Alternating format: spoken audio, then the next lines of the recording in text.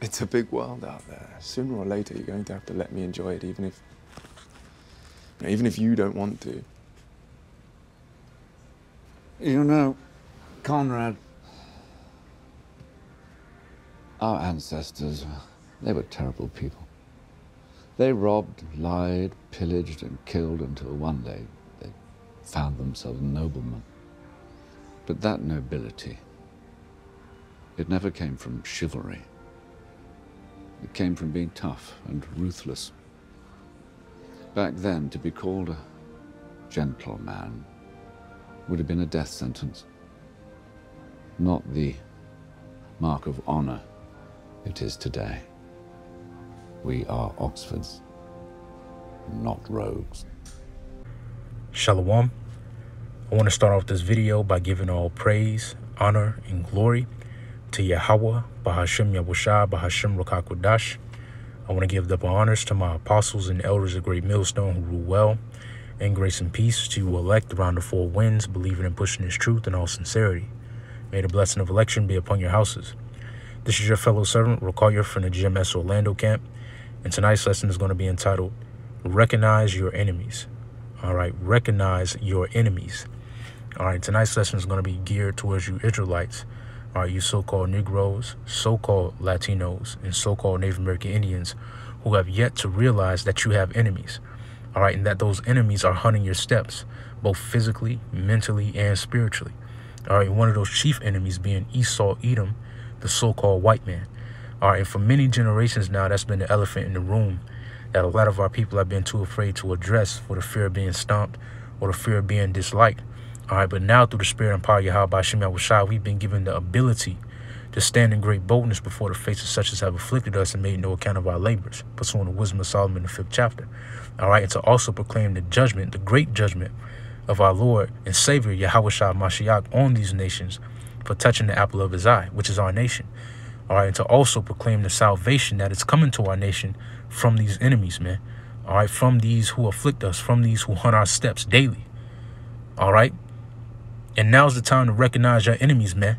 All right, because a lot of you have been rocked to sleep. A lot of you have so conveniently forgotten how you got over here, man. How you ended up in this predicament. It wasn't no cruise ships that led us over here to America. It was cargo slave ships pursuing to Deuteronomy, the 28th chapter and the 68th verse. All right, this is a part of the curses, man.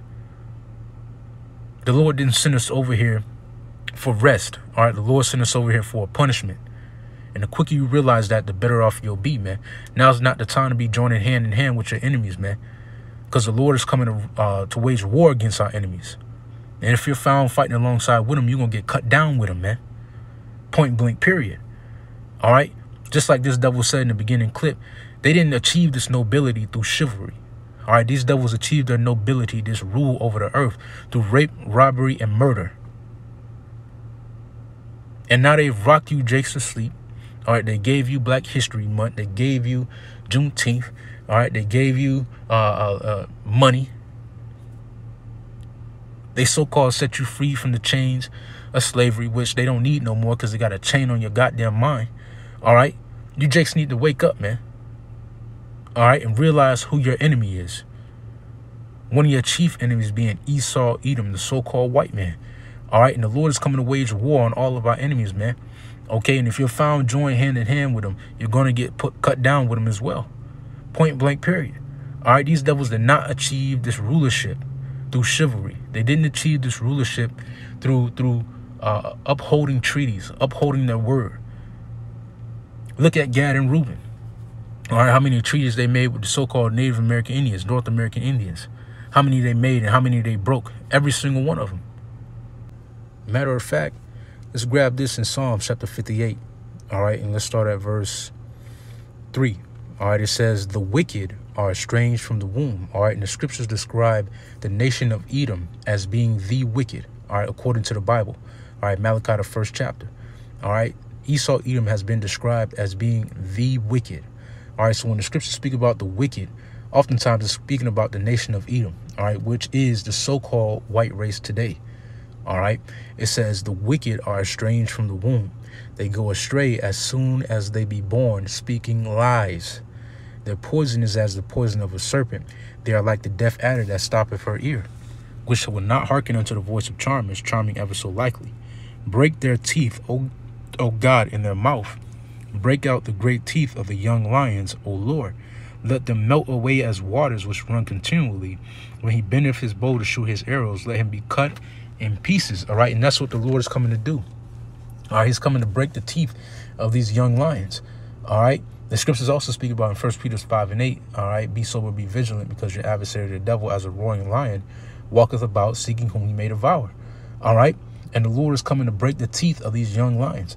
All right. These, these, these, this nation, all right, who hunts the steps of our nation daily, who think of devices, who think of ways to overtake our nation because they realize that if our nation follows, all right, the standard of our power, we'll be on top.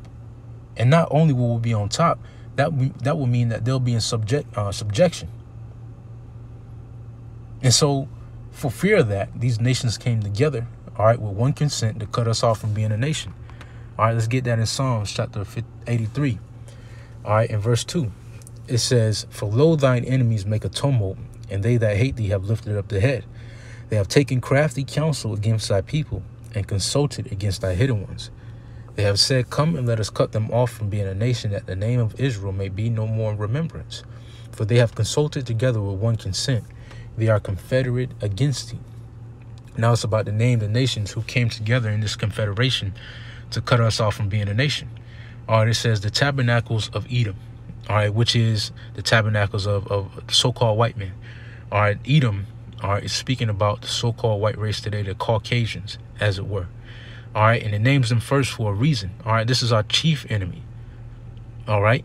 This is our chief enemy who in the day of our uh, calamity said, raise it, raise it. All right. Even to the foundation thereof.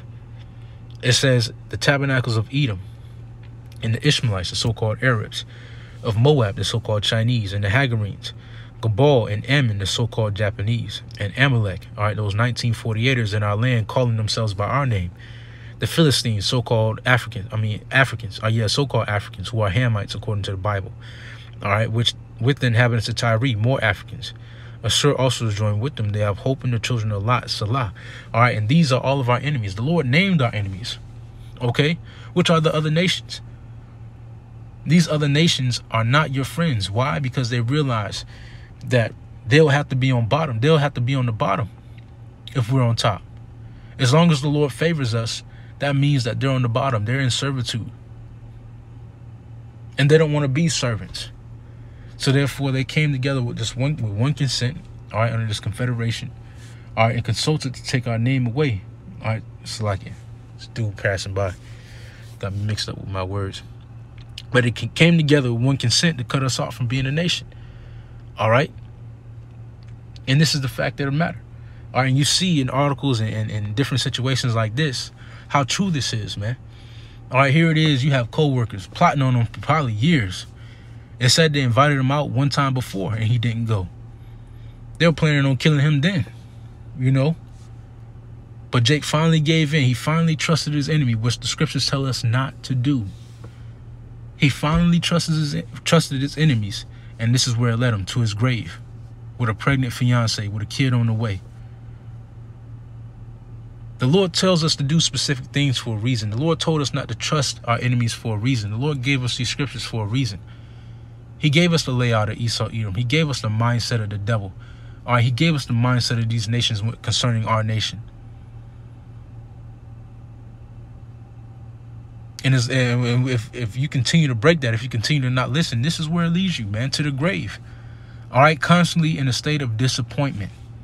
Okay, this is a Sirach chapter 12 and verse 10. And reads, Never trust thine enemy. And the Lord just listed all of our enemies in uh, Psalms the 83rd chapter. For like his iron rusteth, so is his wickedness. Though he humble himself and go crouching, yet take good heed and beware of him.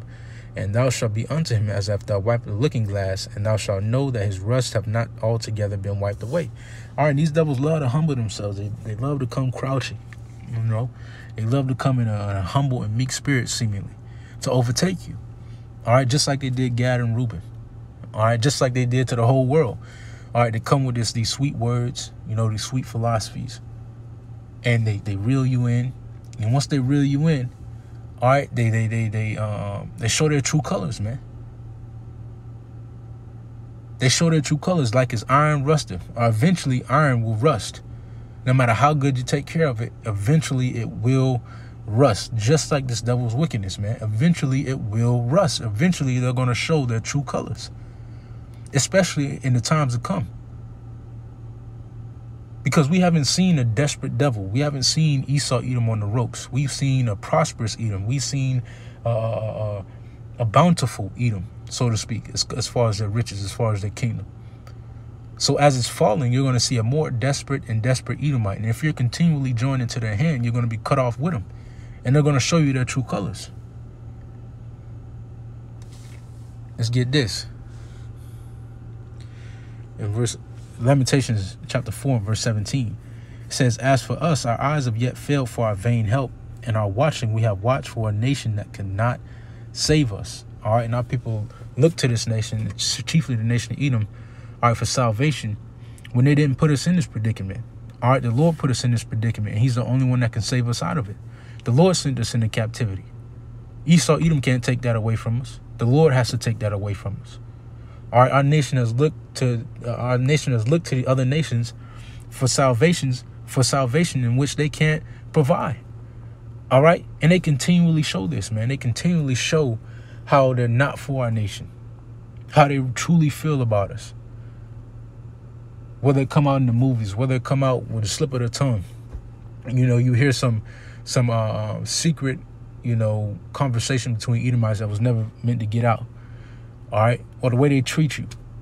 You know, just look at just look at the occupations that our people hold within this world: cooks, entertainers, and justice. That's it. That's all our people have been uh, allowed to flourish in, man. They haven't been allowed to flourish in so-called politics.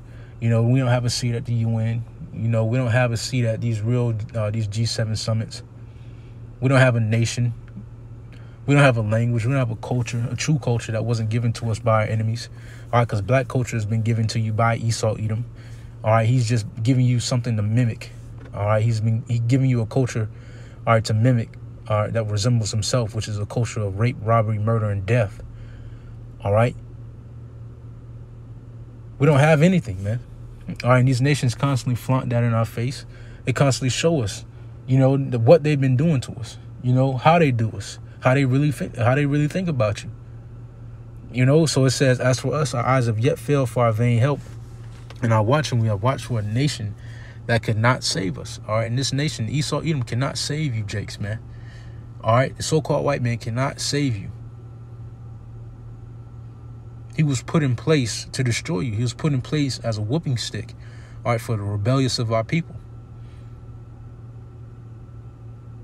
And he constantly shows, man, that he's not here for our salvation. He's here for our destruction. All right, which goes to show this video I wanted to show. All right, now it comes out. All right, that Biden has fund funded. All right, this uh, this law, this bill all right, to put $30 million into effect to uh, give crack pipes to um to druggies, to drug addicts, man.